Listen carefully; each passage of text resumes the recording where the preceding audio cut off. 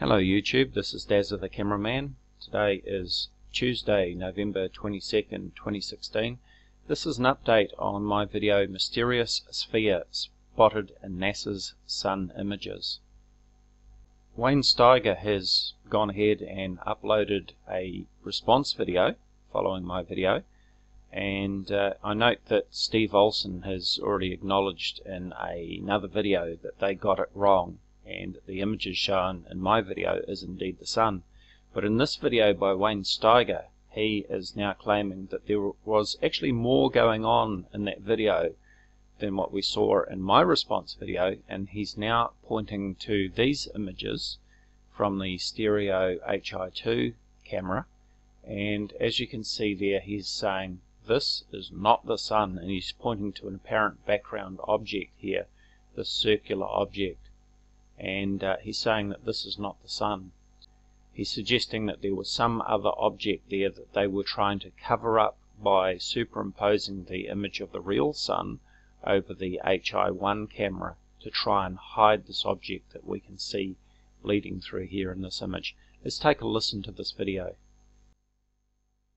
Ladies and gentlemen, there was something else going on in this event. And I contend that is not the sun, and I'll show you why. We begin to look at this in different light spectrums. We can see the sun here. You can see the corona, all of that. And it's an amazing question that needs to be delved into a little bit more, how a software um, image uh, refraction on the satellite could do this. They talk about circuitry overload. Get it, get it, get it, get it. Overload, excuse me. But ladies and gentlemen, this is something else other than the sun. And I will take you through here and show you that it shows up in every visible light spectrum. It's probably the most compelling shot right there. This is not Venus. I grant you this is not the sun. But ladies and gentlemen, whatever this is, it's big. It's very big. And I happen to think that this is one of the best frames that you can see it at. That's a that is not the sun. This is the sun. I will grant it that, but this is not. I'm telling you that is a brown dwarf star and you can come to your own conclusions, but I'm telling you that is not a camera software malfunction. So there you heard it folks, there was Wayne Steiger who has just announced that that is in fact a brown dwarf. He says it is not the sun and that it is real and that it is not a camera malfunction. Now we saw in my first video that the mystery sphere object that appeared in the HI1 camera turned out to be a superimposed image from the EUVI 171 camera which due to a, a glitch became superimposed over the HI1 image. We could clearly see from the features on the surface that we looked at that it was actually the same object in both images it's been rotated 90 degrees and flipped. Let's take another look at these new images that Wayne Steiger has presented to us.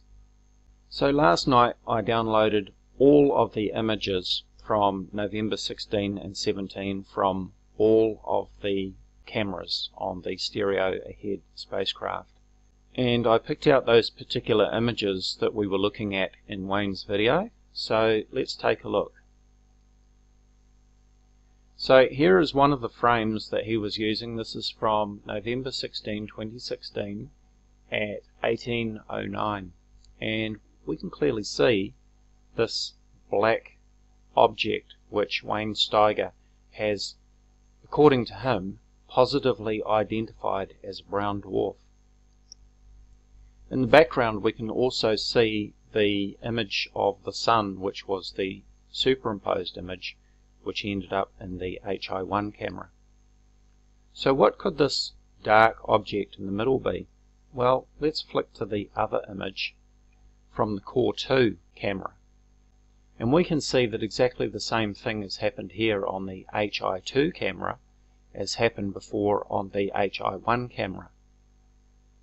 And what we're getting here is a superimposed image of the COR2 camera image on the HI2 camera image. So the object which Wayne Steiger has positively identified, according to him, as being a brown dwarf is in fact the black occulter disk.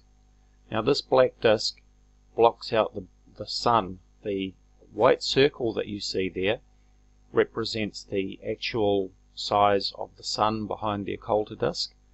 The black occulter disk, which is a, a physical object in the camera, blocks out the bright sunlight so that we can see the surrounding atmosphere of the sun and the, the flares, the CMEs, as they come off.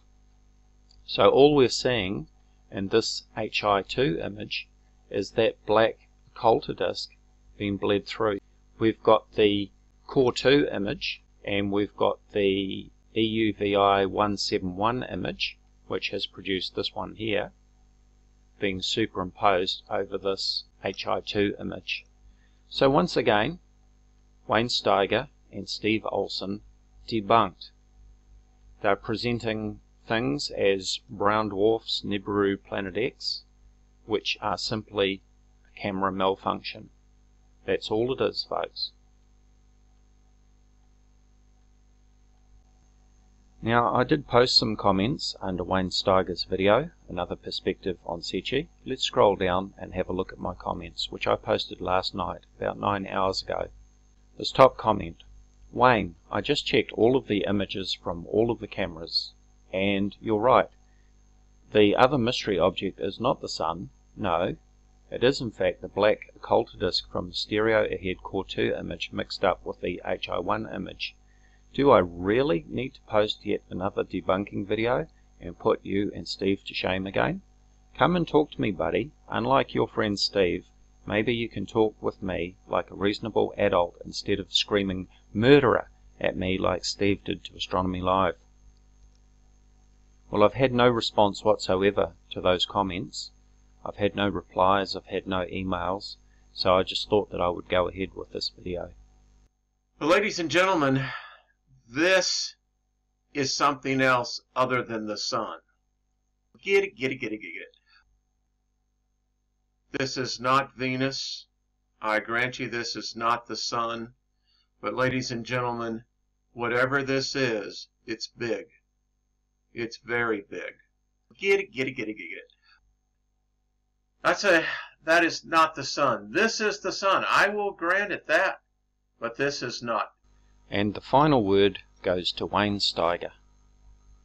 I'm telling you, that is a brown dwarf star. Get it, get it, get it, get it.